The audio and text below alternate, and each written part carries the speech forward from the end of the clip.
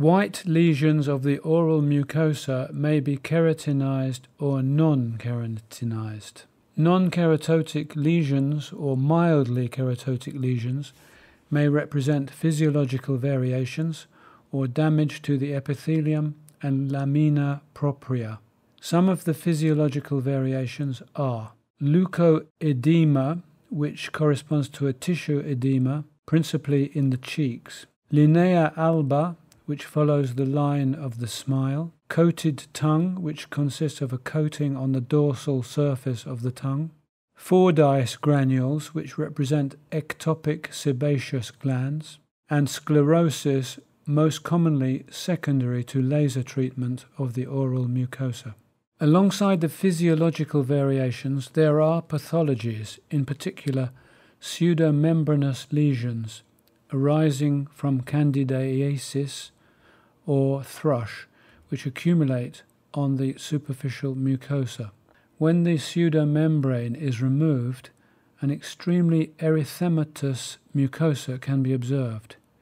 In the case of acute candidiasis associated with a prosthesis, the candidiasis will spread beyond the prosthesis, which distinguishes it from the simple denture stomatitis due to trauma. Candidiasis of the oral cavity results from an imbalance between the ecosystem and the general state of health.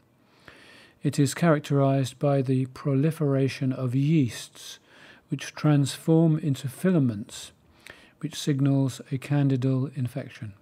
First line treatment for acute candidiasis of the oral cavity is based on the use of local amphotericin B in the form of a mouthwash three times a day for a fortnight.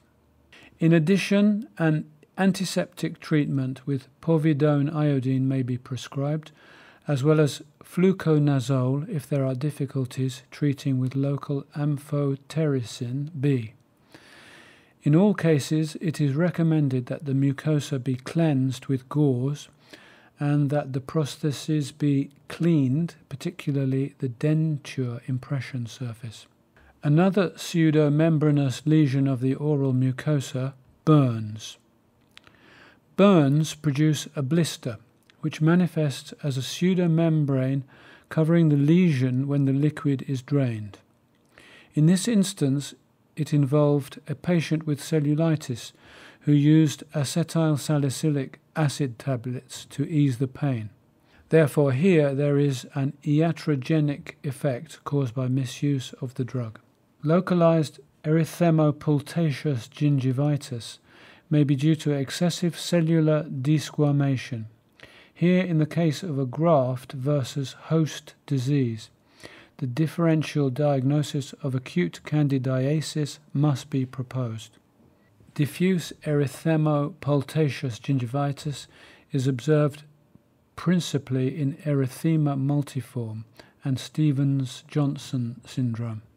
In erythema multiforme, there will be a cutaneous target lesion, which will enable the diagnosis to be made. Morsicatio buccarum produces a white coloration of the mucosa due to numerous squams where tissue laceration is located, particularly in the epithelium, with an associated erythema. Questioning the patient will allow the biting behavior to be confirmed. The lesions are generally bilateral. Pemphigus is an autoimmune disease characterized by the production of antibodies which act against epithelial cell junctional proteins. There is an intraepithelial bulla which manifests as an erosion. The mucosa next to the erosion is slightly detached, which gives it a whitish color. White sponge nevus corresponds to an abnormality of certain cytokeratins. It manifests as severe intracellular edema and a bilateral white coloration of the mucosa. Oral hairy leukoplakia is an infectious manifestation caused by the Epstein Barr virus. Cells appear edematous and clear on histological examination. Clinically, there is a white coloration, generally on the border of the tongue. This is bilateral. Oral hairy leukoplakia is observed principally during HIV infection, but long term local anti inflammatory treatments may also be responsible for this type of lesion.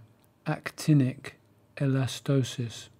The production of elastosis due to excessive exposure to the sun may manifest as a white coloration of the mucosa in the case of actinic cheilitis.